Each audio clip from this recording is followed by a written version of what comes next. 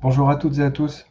Merci de nous avoir rejoints aujourd'hui pour euh, ce nouveau webinaire qui sera consacré à la pratique du, sabre laser. Donc, ce sera une sorte de, cartographie de, la discipline, le développement, on passera du développement dans les clubs euh, aux questions de, formation, réglementation. Donc, euh, votre interlocuteur aujourd'hui sera Olivier Nicotte, DTN adjoint, euh, en charge notamment de la pratique du, sabre laser.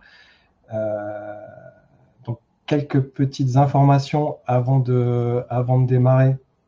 Donc, vous avez la fonction chat qui est à votre droite euh, pour poser toutes les questions que, vous voudrez donc, euh, sur, euh, le sujet à, mesure qu'Olivier déroulera sa présentation. Et, et, puis enfin, dernière petite chose, petite info, bien sûr, le, webinaire sera disponible en replay sur le site internet de la Fédération et la chaîne YouTube Escrime TV. Voilà, bon webinaire à tous et Olivier, je te cède la parole.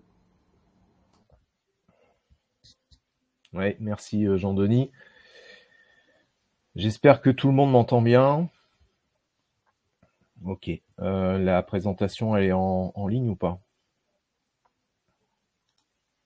Euh, Je la vois pas. Ah, c'est bon. Ok. alors, donc, je vais, alors, je vais commencer par me présenter. Euh, dans le sabre laser, euh, peut-être plusieurs personnes me connaissent, mais euh, peut-être pas partout.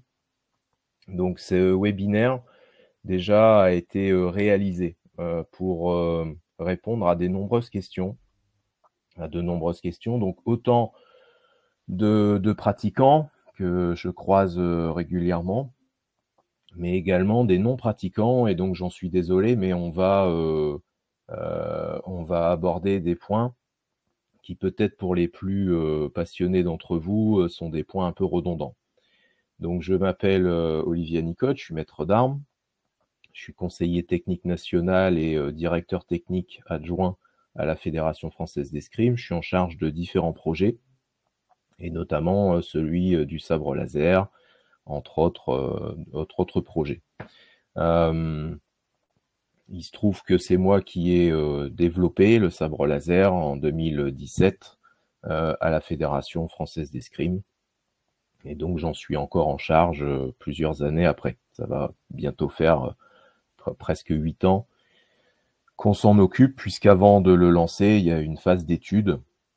Donc ça nous renvoie à 2016. Voilà. Donc on va bientôt atteindre les huit ans de développement du sabre laser au sein de la Fédération française d'escrime. Voilà.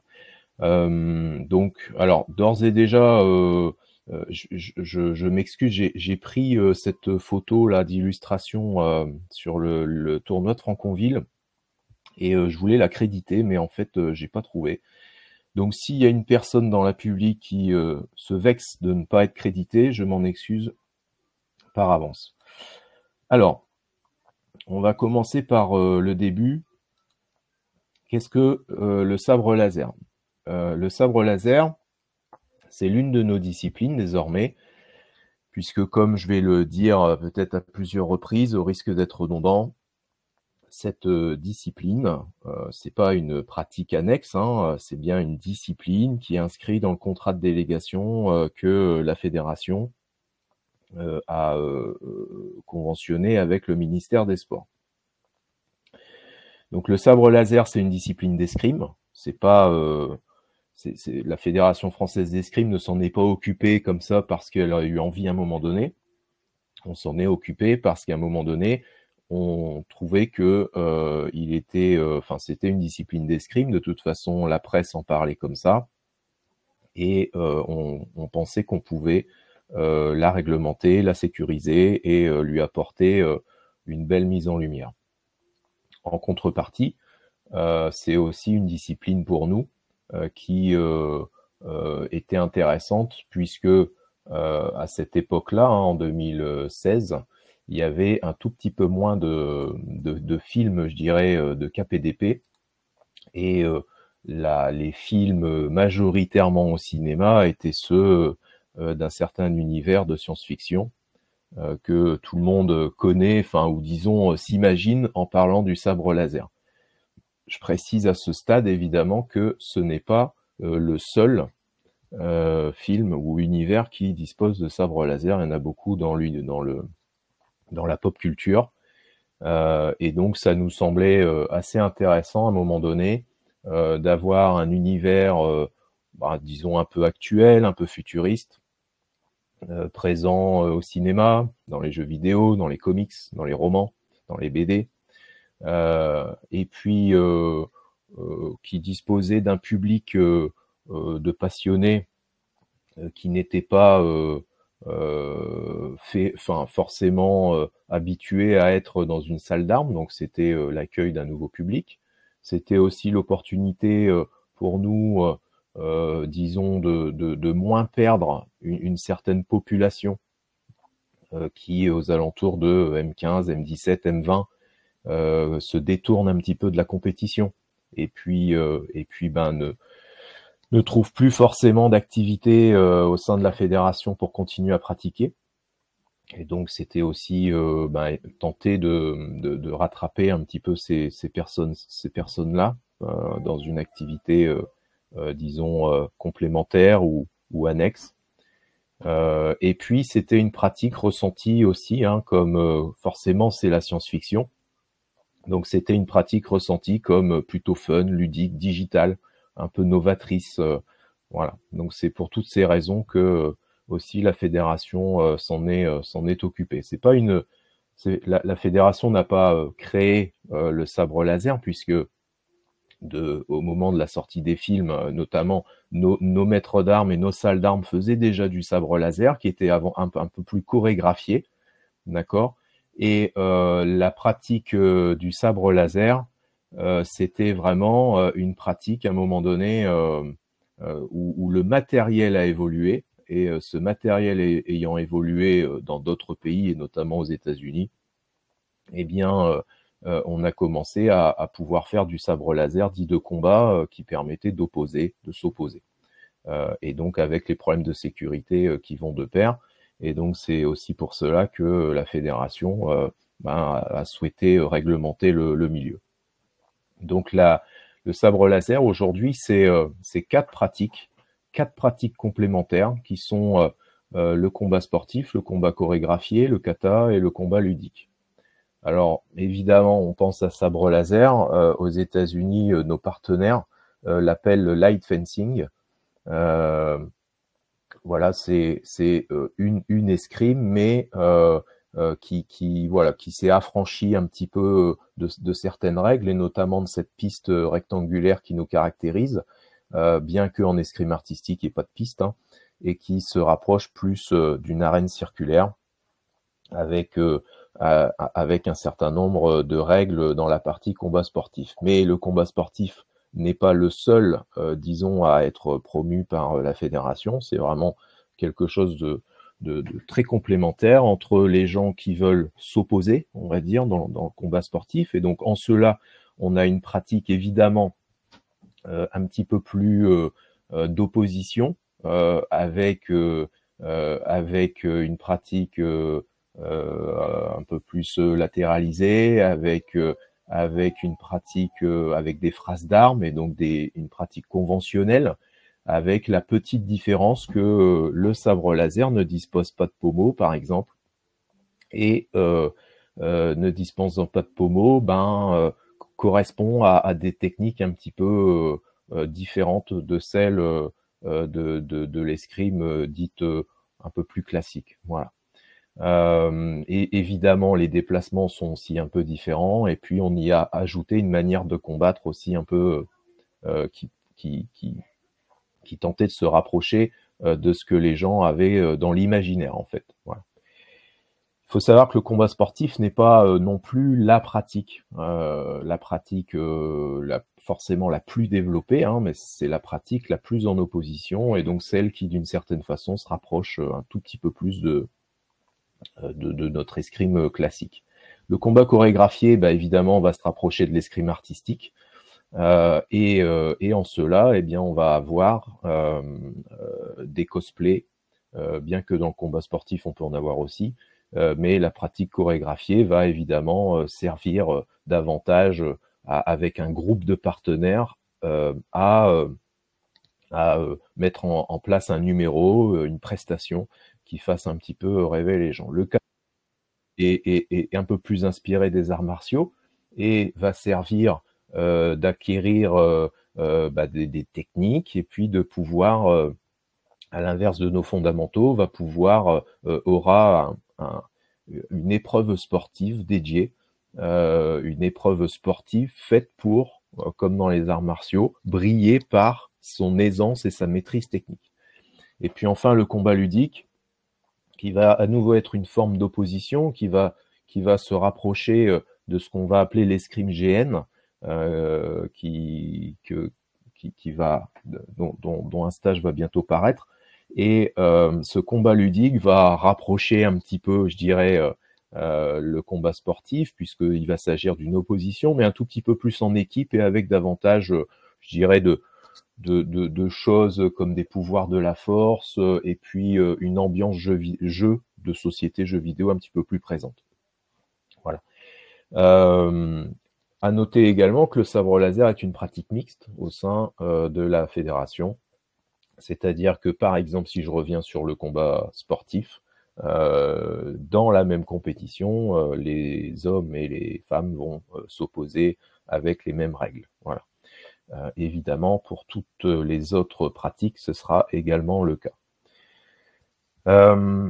la manière dont l'ensemble a été codifié, euh, ça a été codifié évidemment pour euh, se rapprocher euh, d'un certain nombre de d'un certain nombre de, de, de, de, logiques, d'imaginaires qu'on a qu'on pensait juste au niveau des, ben, notamment de la filmographie hein, qui se rapproche de ça.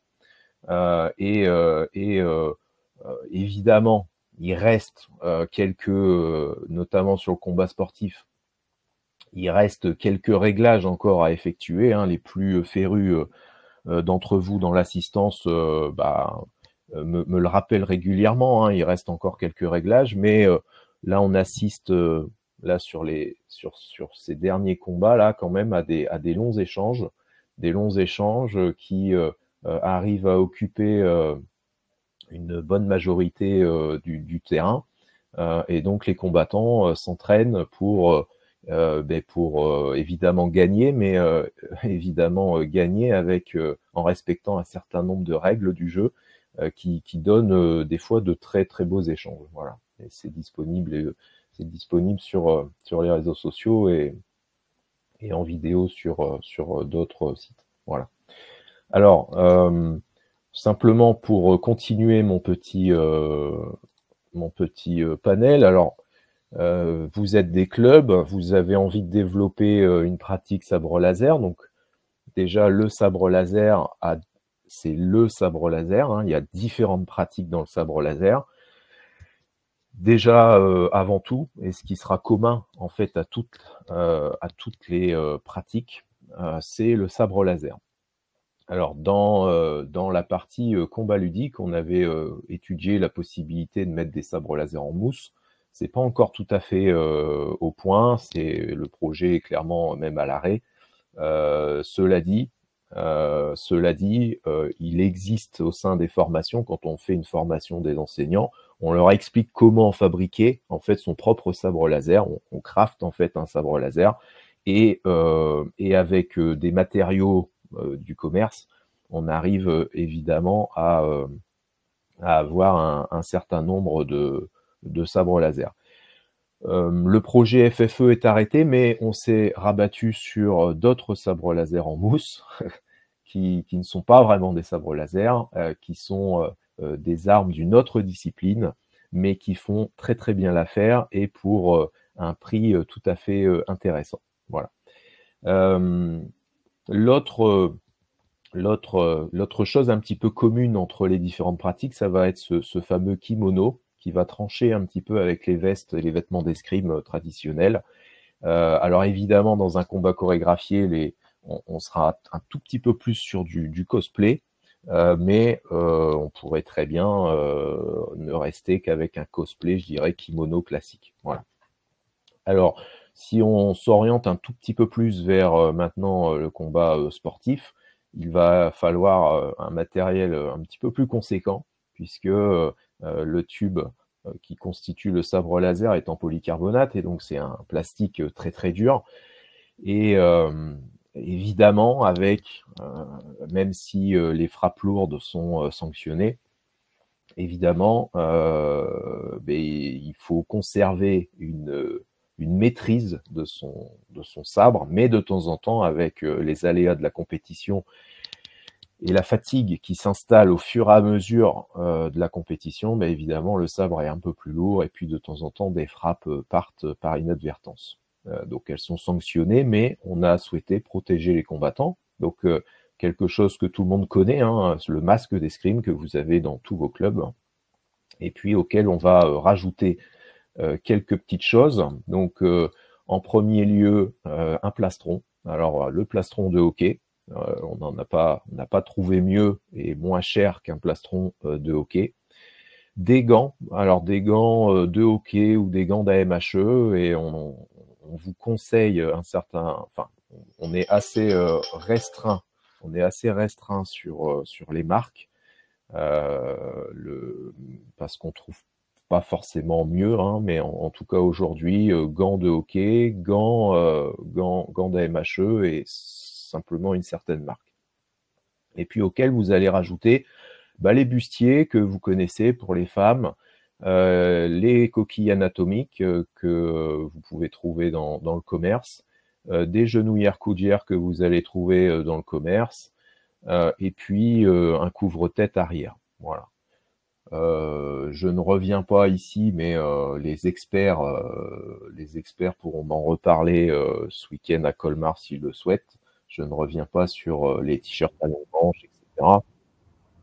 qui est paru, qui est paru à, qui est paru à quelques mois déjà. donc c'est un ensemble, d'accord, qui est peut-être un peu coûteux pour les clubs, certes, mais mais qui qui d'abord euh, se peut se faire progressivement. Et puis ensuite, euh, euh, bah, n'hésitez pas à faire les demandes ANS qui vont bien dans le, cadre du PSF. Et puis, bah, et puis évidemment, vous pouvez également jongler avec les différentes pratiques. En tout cas, si vos enseignants viennent en formation professionnelle continue, eh bien, ils auront toutes les indications, les fournisseurs, etc., qui vont bien. Olivier, on a quelques questions sur, euh, sur le matériel qui sont, Allez, on y va. Alors, euh, elle m'a l'air un peu technique. Pourquoi pas penser aux armes de Trollball pour le ludique? Je ne sais pas si tu vois ce que c'est.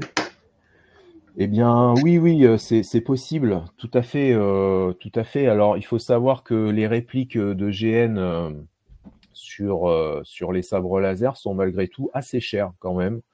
Euh, à moins que euh, vous nous envoyiez euh, des répliques pas très très chères, mais en général, ça coûte quand même assez cher. mais oui, c'est possible, évidemment, évidemment. voilà. Alors aujourd'hui, il faut savoir que l'arme en mousse qu'on utilise coûte 25 euros. Hein. Donc c'est quand même très difficile de faire en dessous. Hein.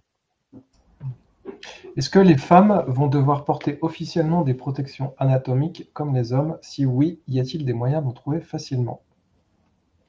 Ben, euh, bah, oui, enfin, sans, citer de marque, il y a un très grand magasin de sport qui en fait.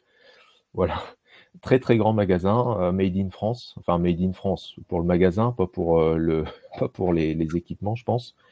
et oui, oui. alors dans le règlement, il y a plusieurs livrets dans ce règlement et donc oui, euh, le, à partir de septembre 2024, donc on a encore un petit peu de temps, à partir de septembre 2024, la commission a souhaité effectivement euh, doter les femmes de ces protections. Euh, alors une question de Sylvain. Y a-t-il du matériel sabre laser protection Alors il met FFE. Moi, je pense euh, soit euh, estampillé FFE, vendu par la FFE ou, homologué par la FFE. homologué, oui. Euh, mais alors vendu ou, produit par, non, pas tellement. En général, on, voilà, on a posé des labels ou des autorisations sur des fournisseurs. Le kimono est-il obligatoire? Alors ça, c'est, je m'attendais à cette question évidemment. il y, a, un certain, il y a une circulaire qui est parue, il y a une circulaire qui est parue au 15 janvier et qui précise les conditions d'utilisation du, kimono. Donc je vais pas revenir ici, il suffit de se procurer la circulaire qui est en ligne sur le site de la fédération. Je pense qu'elle repositionne clairement les choses et à l'écrit en plus. Alors, il y a une, remarque très juste. On trouve euh, énormément de sabres laser en vente sur Internet, euh, mais y a-t-il une homologation spécifique ou des bah obligations d'homologation? Alors, concernant euh, les pratiques diverses et variées, à chaque fois, vous allez avoir un, livret qui va réglementer la pratique. Alors, le combat ludique n'a pas encore son livret, mais, mais on y travaille. En tout cas, chaque livret a un petit peu ses, spécificités sur le sabre laser. Et donc, le, je dirais que les, plus fortes spécificités sont sur le combat sportif, évidemment. Et il suffit de s'y reporter pour euh, avoir le, sabre laser qui va bien. Alors en France, on a euh, des fournisseurs qui euh, se sont adaptés à d'autres livrets et qui proposent les bons sabres laser qui vont bien. Donc n'allez pas les chercher aux États-Unis avec des frais de port exorbitants vous avez en France euh, des fournisseurs qui, euh, qui savent très bien le faire et qui restent, euh, disons, dans des gammes de prix raisonnables. Je te, propose qu'on avance et, on, en fonction du temps, on, reprendra les questions techniques de ce genre-là si, on a le temps. N'hésite pas à m'interrompre. donc simplement, on m'a souvent posé la question, hein, et donc j'en profite pour repréciser ça qu'est-ce que l'Académie de sabre laser? Parce que certains me disent, mais c'est quoi l'Académie de sabre laser? Alors, euh, pas forcément euh, les plus férus d'entre vous, mais, euh, mais les autres. donc là, comme je m'adresse à un bon nombre de pratiquants et de dirigeants qui ne sont pas forcément très aiguisés sur, sur cette discipline, je vais remettre un petit peu d'ordre dans les choses. Donc depuis 2020, Hein, la, discipline du sabre laser est sous la responsabilité de la commission artistique et sabre laser. Et cette commission, en fait, comme il y avait euh, deux disciplines à l'intérieur, ils ont créé des sous-commissions sur chaque discipline. Et donc le sabre laser euh, correspond à une sous-commission euh, de la fédération. Et c'est cette sous-commission qu'on nomme l'Académie de sabre laser.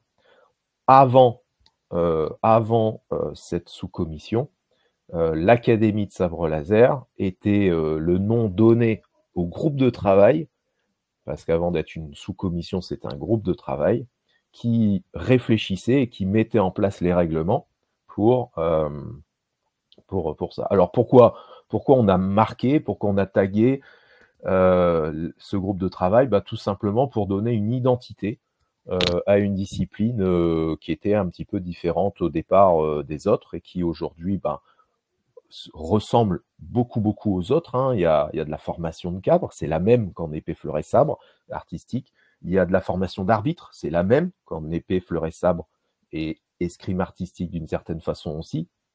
À chaque fois, on s'est attaché à ce que nos cinq disciplines correspondent à peu près à la même réglementation, à la même formation, euh, que ce soit d'encadrant ou d'arbitre. Voilà. Donc, euh, euh, je dirais que les, différences restent dans les logiques internes de chaque discipline, mais le cadre fédéral qui est posé dessus est un cadre quand même qui se veut transversal pour qu'à un moment donné, par exemple, un maître d'armes demain ne, soit plus uniquement féru d'épée, de fleuret ou de sable, mais connaissent aussi l'escrime artistique, connaissent aussi le sabre laser. Voilà.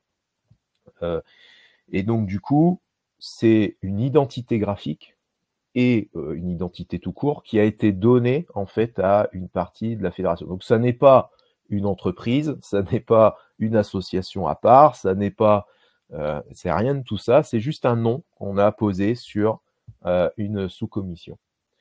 et donc, du coup, cette sous-commission, eh bien, elle est composée de différentes strates. On m'a aussi beaucoup posé de questions en début de saison là-dessus. Euh, cette sous-commission, cette commission euh, d'abord est présidée par euh, le maître Hautefaille. Et il a, d'une certaine façon, il s'appuie sur un président de sous-commission qui est Monsieur François Muller.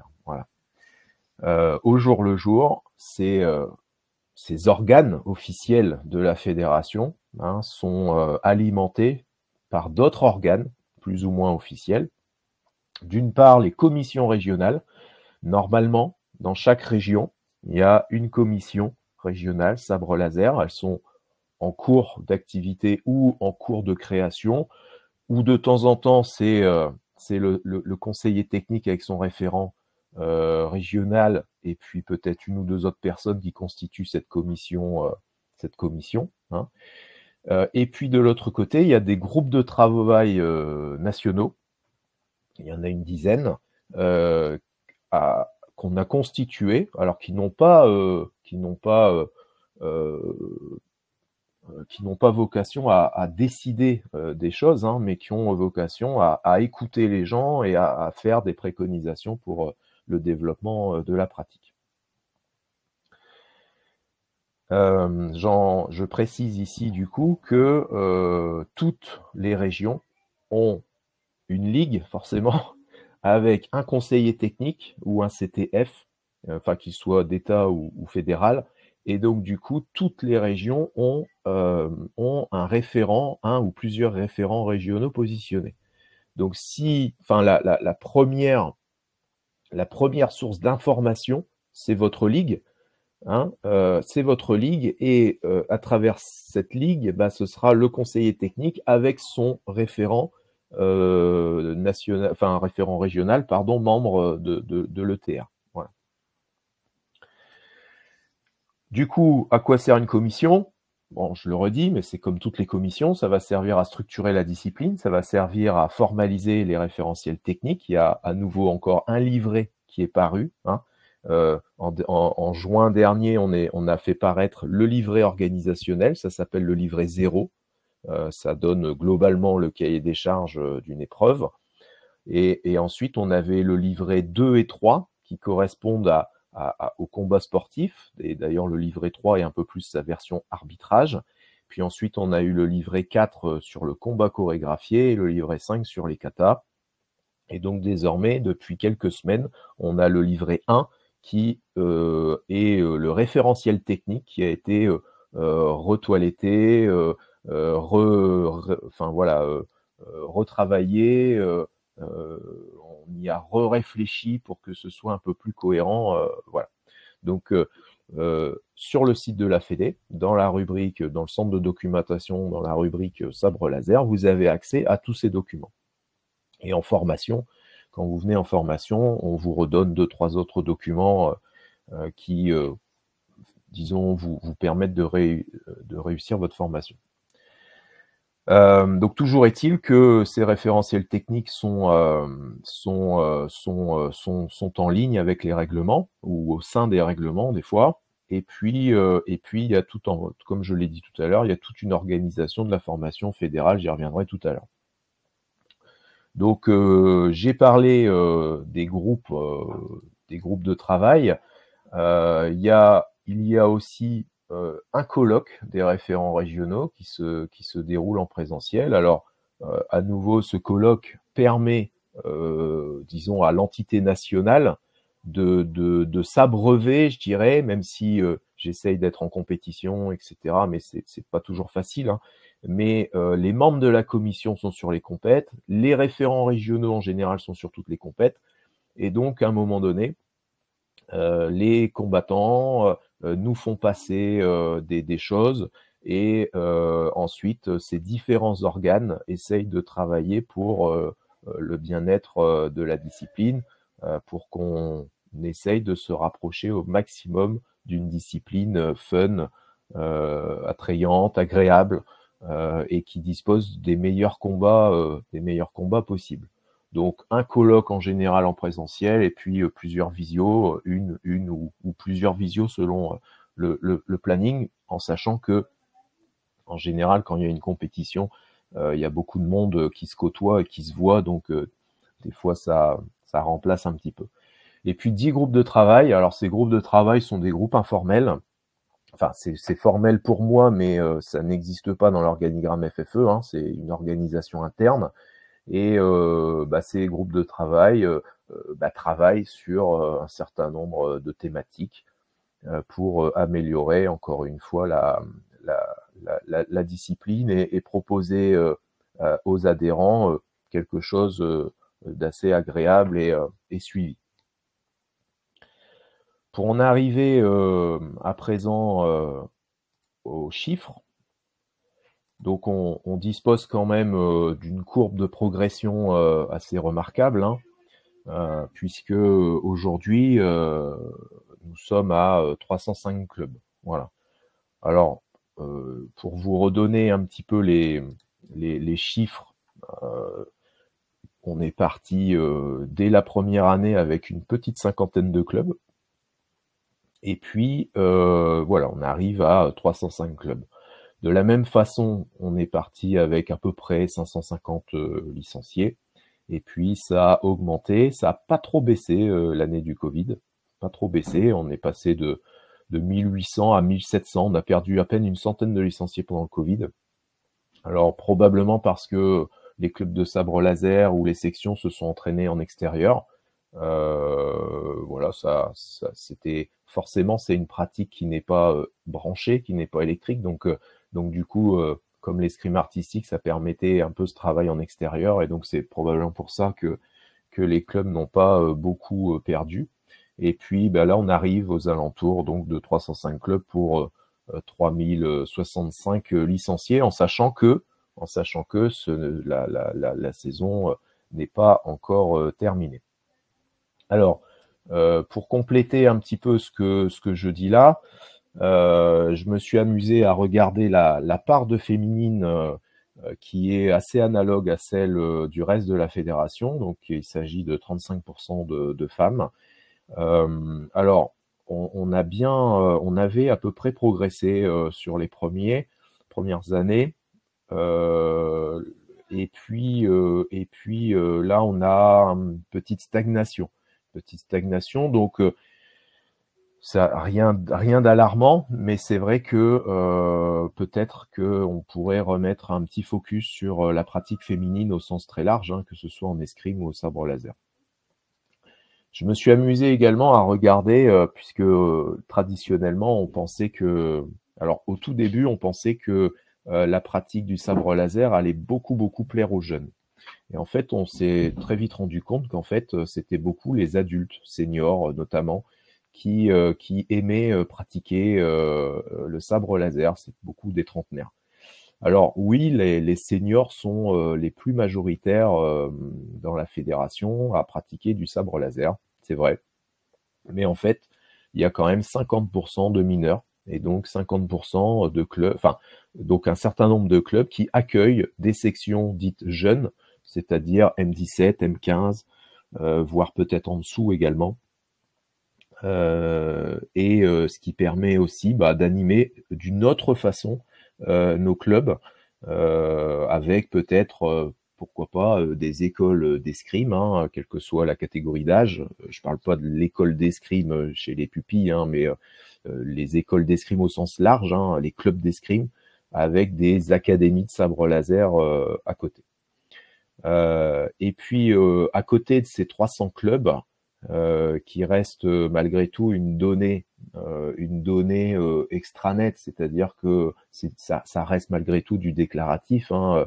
Il y a certains clubs qui déclarent faire du sabre laser, mais qui n'en font par exemple que pendant les vacances ou, ou à l'approche des vacances ou voilà, sous forme de stage. Ils n'ont pas une pratique annuelle. Et donc du coup, la labellisation, euh, qui a été lancé euh, euh, l'année dernière, sert aussi à promouvoir les clubs qui ont une pratique efficiente du sabre laser. Et donc, on, sur la première session, en 35 clubs se sont vus labellisés. alors, 35 clubs ont un label Académie de sabre laser, mais ce, 35 sur, sur à peu près 200, 200 clubs en tout. Donc, on, doit être euh, un bon, un bon ratio. 25 ont un label bronze, 9 ont un label argent et 1 a le label or. Il s'agit de Metz qui est l'organisateur des euh, prochains championnats de France. Voilà.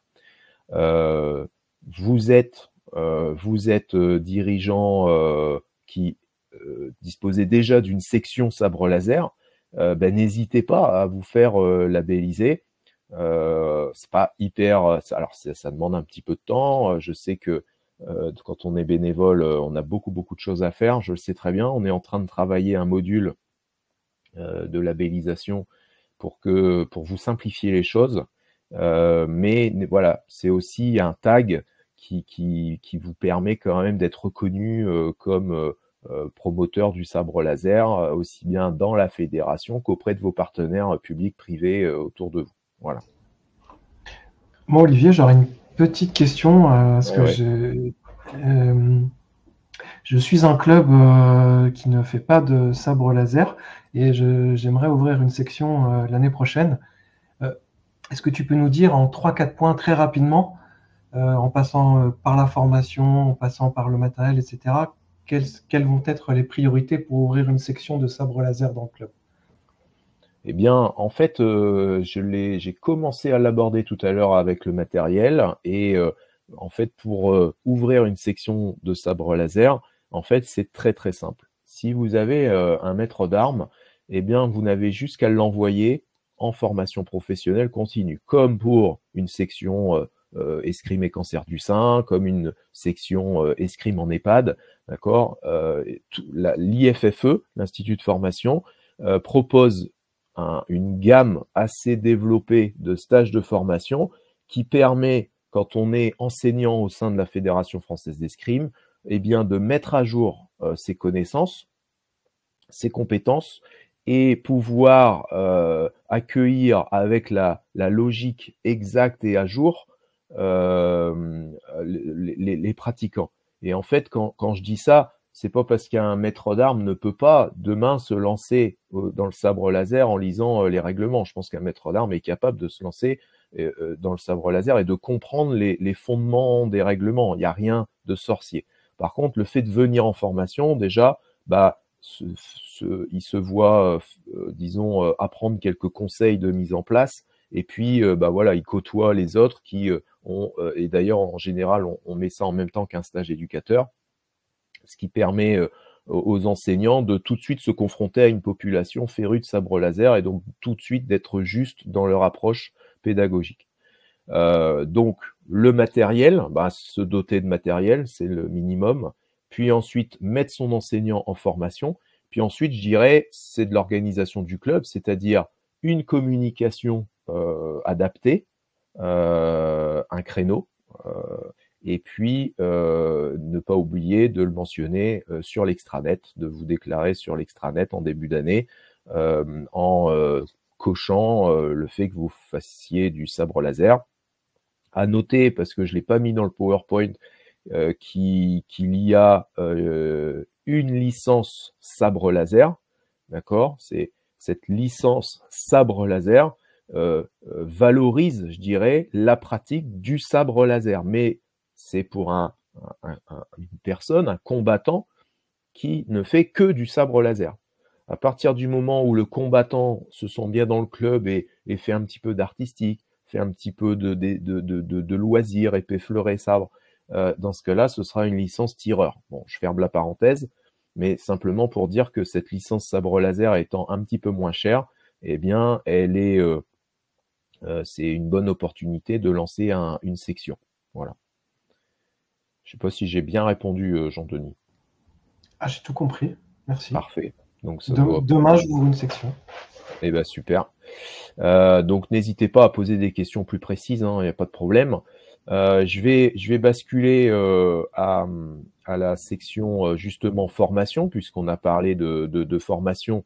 Donc, on va basculer sur cette page formation. Alors, je me suis amusé à, à, à un peu voir quels étaient les chiffres euh, de la formation. Alors, d'une part, euh, on peut observer que la formation professionnelle continue de sabre laser, euh, bon, on, atteint quand même pas loin des entre 150 et 200 personnes formées, 200 maîtres d'armes formés, même peut-être un peu plus, sur la pratique sabre laser. Voilà. Donc là, les stages, là, on commence à, essouffler, je dirais, un petit peu les stages. Hein. Forcément, ça, ça, a été plutôt bien euh, plutôt bien suivi au début, lors du lancement, et puis voilà, ça, voilà, on commence un peu à s'essouffler, mais toujours est-il que tous les maîtres d'armes qui voulaient, et quand je dis maîtres d'armes, c'est enseignants d'escrime au sens large, pardon, euh, voulaient euh, lancer leur section, bah, sont venus en stage, et chaque année, on accueille entre 4 et 8 nouveaux collègues qui se forment à la pratique.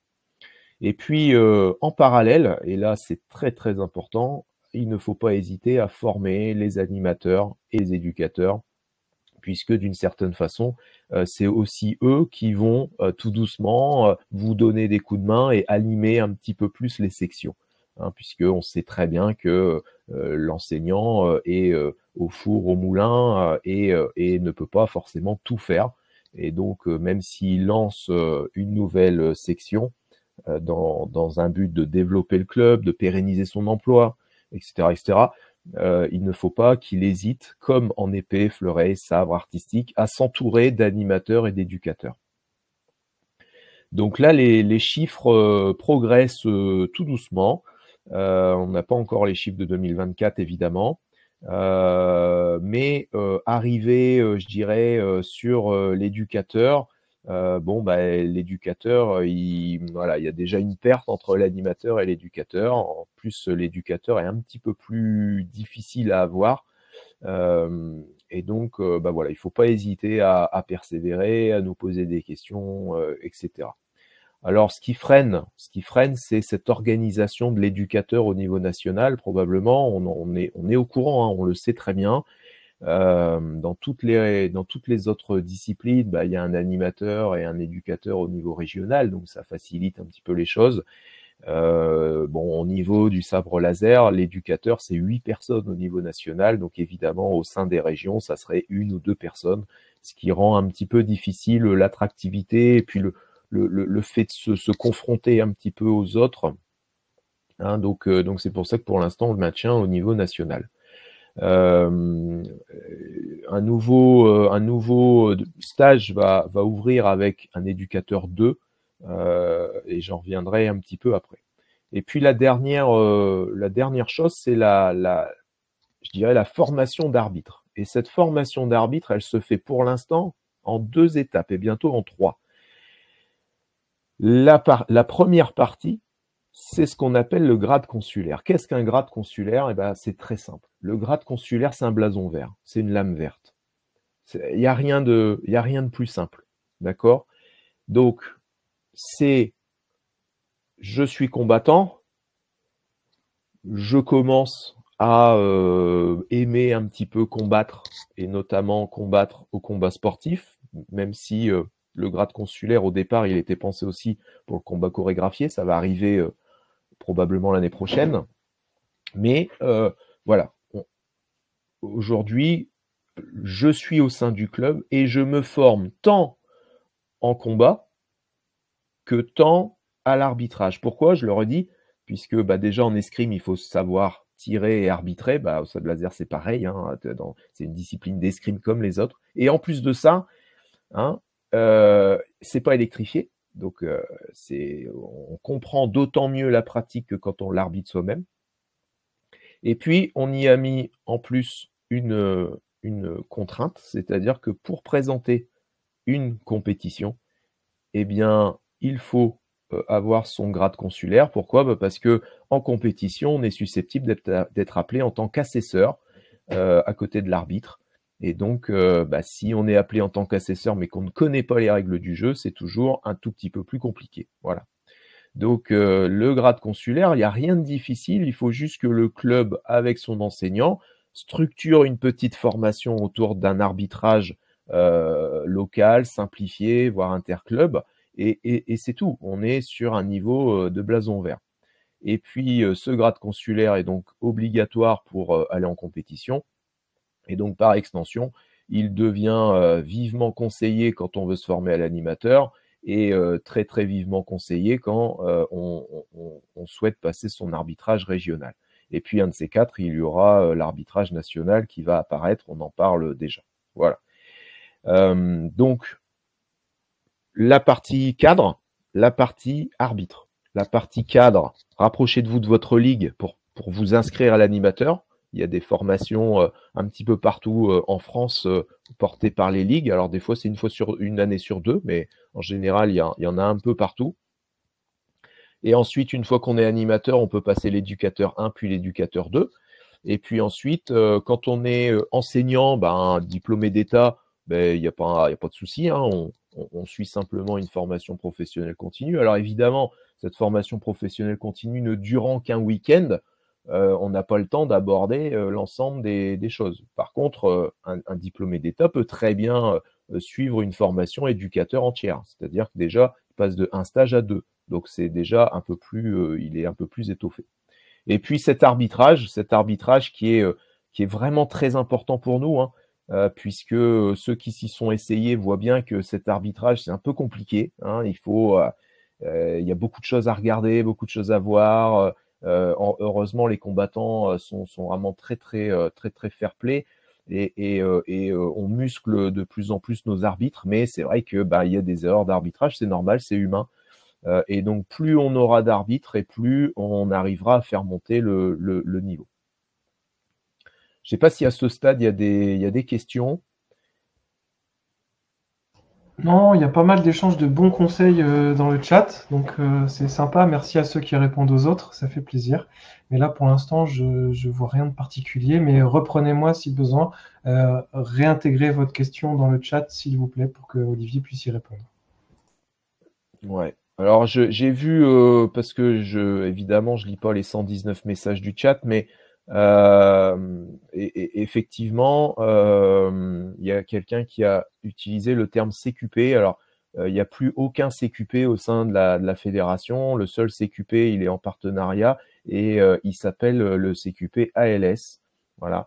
donc, il faut bien distinguer les formations fédérales de la formation CQP, puis ensuite des, des formations d'État. Voilà. Euh, bon, ça c'est un peu technique euh, le jour, euh, donc n'hésitez pas à nous poser aussi des questions par mail. et et s'il y a un webinaire spécial formation, mes collègues y reviendront un petit peu plus longuement. mais effectivement, le CQP-ALS permet d'avoir une première marche vers l'enseignement, disons, professionnel de l'escrime. Voilà. Les, diplômes fédéraux n'étant que des bénévoles, des aides en fait au club, et puis ensuite, quand on embrasse la carrière d'enseignant, eh bien là, on arrive sur des BP, des DE et des DES GEPS. Voilà. Euh, bah, je vais poursuivre, il est déjà bah, moins 10. Alors, je voulais juste terminer par, euh, par un rappel un petit peu des, euh, des, différents, des, différents événements qui ponctuent un petit peu l'actualité. donc, des événements à la fois de vie sportive, de formation, ces éléments, euh, euh, vous les retrouvez dans les différents euh, calendriers hein, du, site, du site internet, dans les rubriques calendrier où je me forme, d'accord? alors, ce qui est déjà passé, bah, c'est évidemment le CNSL, le l'épreuve nationale de sabre laser, qui, qui était à qui était à Franconville en février. Et puis ce week-end là, le week-end qui arrive, euh, a lieu le tournoi international de sabre laser à Colmar. Euh, et donc, euh, donc moi j'y serai. Donc si vous voulez m'interpeller, n'hésitez pas. Et puis, et puis voilà, c'est, je dirais que c'est encore quelque chose d'assez novateur puisque c'est la première fois où un pays va organiser un tournoi international sur des règles un petit peu unifiées. Alors pour, pour cette année, on prend date, d'accord, et puis euh, l'année prochaine, ça, on espère euh, le pérenniser et que ça devienne une petite routine euh, pour un maximum de pays.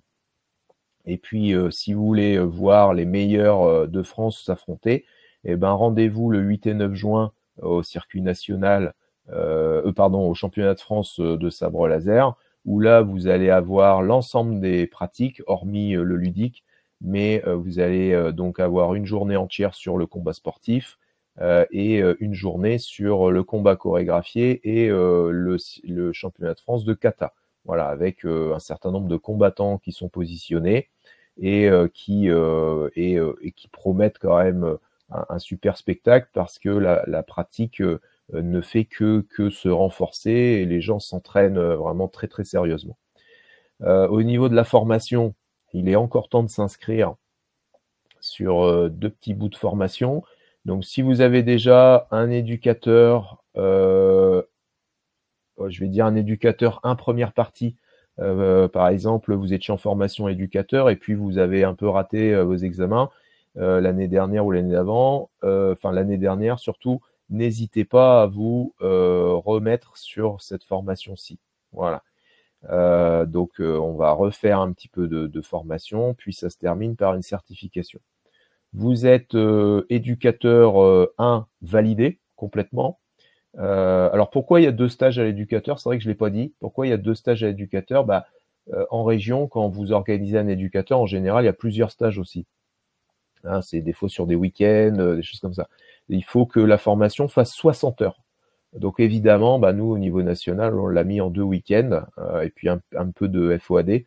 Euh, pardon, de e-learning, euh, c'est-à-dire une plateforme à distance avec quelques documents dessus, qui nous permettent d'atteindre les 60 heures. Donc effectivement, il y a deux temps euh, dans la formation, une partie 1 et une partie 2. Voilà. inscription en général en début, début d'année, septembre, pour, pour un premier stage souvent à la Toussaint, on va dire, octobre-novembre, et puis un deuxième stage souvent au mois d'avril ou un peu avant, mars-avril, euh, qui permet en fait sur euh, l'année de, faire sa formation, de faire son alternance entre le stage 1 et le stage 2. Et puis si vous êtes validé euh, éducateur à l'issue d'avril, eh ben, vous pouvez directement vous inscrire pour Limoges qui permet de valider l'éducateur 2. Alors quelle est la différence entre les deux? Alors c'est à toutes les armes pareil, hein. Euh, à toutes les disciplines pareil, c'est-à-dire que l'éducateur 1 va faire la part belle euh, l'enseignement collectif de la discipline, tandis que l'éducateur 2 va faire plutôt un focus sur l'enseignement individuel, euh, notamment leçons individuelles de, de, la discipline, un peu d'analyse vidéo, etc. Donc c'est plutôt collectif l'éducateur 1 et c'est plutôt individuel, singulier, personnalisé l'éducateur 2. Voilà. Euh, quand on parle à des, pratiquants. Hein, l'éducateur 1, on va parler au groupe, tandis que l'éducateur 2, on va plutôt renforcer une seule personne dans son groupe. Euh, et donc du coup, du 3 au 7 juillet, bah, cet éducateur 2 à Limoges, euh, les inscriptions sont effectivement ouvertes. Ça ne saurait être complet si je ne parlais pas de tous les Open régionaux qui existent aujourd'hui. Il y a beaucoup, beaucoup de compètes en région qui permettent euh, dorénavant bah, de, de, de, se lancer, de s'exercer, de découvrir euh, la pratique. Hein. Donc euh, la majorité des régions maintenant se sont bien lancées dans le, dans le, dans le truc. Et puis il y a encore autre chose, c'est-à-dire qu'il y a un certain nombre de, conventions, de salons que les clubs animent. donc je pense à la ComicsCon le week-end prochain, enfin fin du mois, euh, la Star Wars, euh, enfin bref, je peux pas toutes les citer parce que dans, chaque, dans toutes les régions désormais, euh, vous avez des, des, des, Japan Expo, des comics, euh, des comics salons, conventions, un peu voilà qui, qui s'adressent soit à la science-fiction, soit soit aux jeux vidéo ou soit à, à, à, toute la culture pop en fait. Et, et euh, les clubs, euh, c'est aussi un vecteur de développement pour les clubs. Les clubs n'hésitent pas à sortir de leur mur, d'accord, pour aller au devant en fait des pratiquants au sein de ces conventions. Hein, donc, comment développer son club? Bah, bien sûr, euh, je commence par former mon enseignant. Euh, je, je, je, continue en, en, ouvrant un créneau, en me dotant de matériel via le PSF, euh, etc. je fidélise mes pratiquants en leur proposant des événements réguliers, hein, que ce soit des, des formations d'arbitres, des formations animateurs, euh, je les envoie en compétition ou, euh, même, euh, on, développe un petit peu l'ambiance au sein du club, peut-être autour de numéros à, sur les cinémas alentours. Et puis, euh, et puis, ben, quand je commence à sortir du club, donc soit de manière très locale sur le cinéma d'à côté, bah, n'hésitez pas aussi à aller un petit peu plus loin et donc viser des conventions un petit peu plus régionales. Alors il vous faut un peu plus un dress code, hein, le petit dress code qui, qui, va bien. pour interpeller un petit peu les gens en disant ah hop hop n'oubliez pas on existe vous voulez faire du sabre laser n'oublions pas que c'est aussi alors c'est pas une pratique olympique mais c'est une pratique physique encadrée par vos enseignants donc sécurisée et puis un petit qui sort un petit peu de l'ordinaire c'est-à-dire que pour tous ceux pour qui les Jeux Olympiques, bah, ça parle pas trop, les champions, ça parle pas trop. Par contre, tous ceux qui, aimeraient bien ressembler à plutôt des héros de films, de jeux vidéo, etc., un petit peu aussi euh, féru, alors pas d'histoire, ça c'est plutôt l'escrime artistique, mais plutôt féru de lecture ou de film, eh bien c'est aussi une pratique physique intéressante pour, pour toutes ces personnes-là. Et en général, voilà, quand on ouvre une section de sabre laser, si on s'y est bien pris et que l'enseignant est bien formé euh, et qu'il correspond un petit peu aux attentes des gens qui viennent, ça marche partout pareil. Hein, c'est, c'est la même chose qu'en épée, fleur et sabre hein, et, artistique. Hein, il faut que l'enseignant corresponde bien à son public.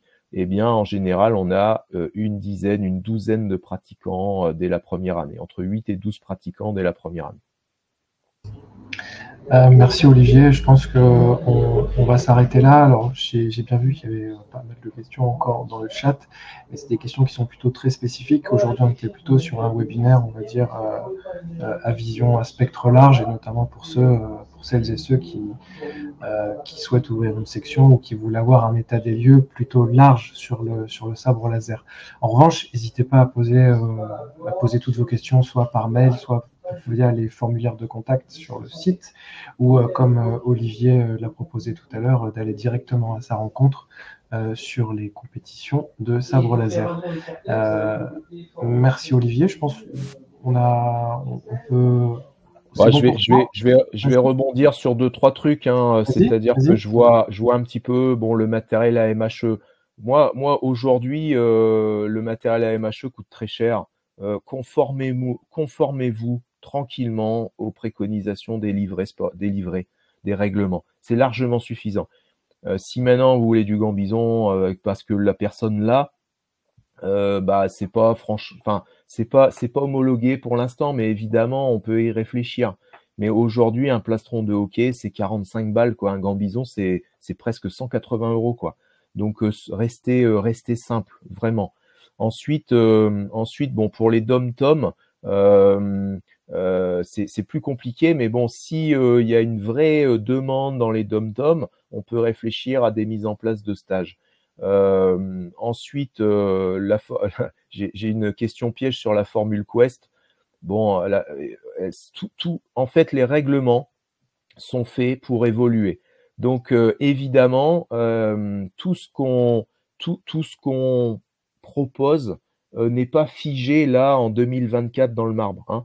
Euh, chaque année, euh, la commission ou la sous-commission vont apporter euh, des, petits ajustements qui, voilà, depuis cette année, par exemple, les lignes de mise en garde sont à 6 mètres. Voilà, il s'avère que c'est plutôt positif pour, pour les combats. Bon, peut-être peut-être que l'année prochaine, la formule Quest va légèrement, légèrement changer. On ne sait pas. En tout cas, à chaque fois, ce qu'on va faire est issu de très très nombreuses discussions je peux vous assurer que quand je me déplace quelque part, tout le monde me harcèle, euh, gentiment, bien sûr, et vient me donner euh, les règles qu'il aimerait voir apparaître. Et euh, bien sûr, vous avez tous de très bonnes idées, de très très bonnes idées, et, et, ensuite on recueille toutes ces idées, on en débat, et puis on essaye de faire progresser la pratique par petit à coup. Voilà, on n'essaye pas euh, de repartir d'une page blanche chaque année, c'est hors de question. Chaque année, il y aura une petite nouveauté, un petit ajustement qui, va vraiment essayer de, euh, y compris pour les logiciels, on essaye de mettre en place, de mettre à jour aussi. Donc euh, petit, par, petit peu par petit peu, on essaye voilà, de, de faire progresser la pratique tranquillement, sans tout révolutionner. Voilà. Merci à tous. Merci Olivier, merci à tous et on vous souhaite une excellente journée. Rapprochez-vous de vos référents régionaux et de vos conseillers techniques et de vos ligues pour répondre à vos premières questions, c'est important. C'est vos premiers interlocuteurs.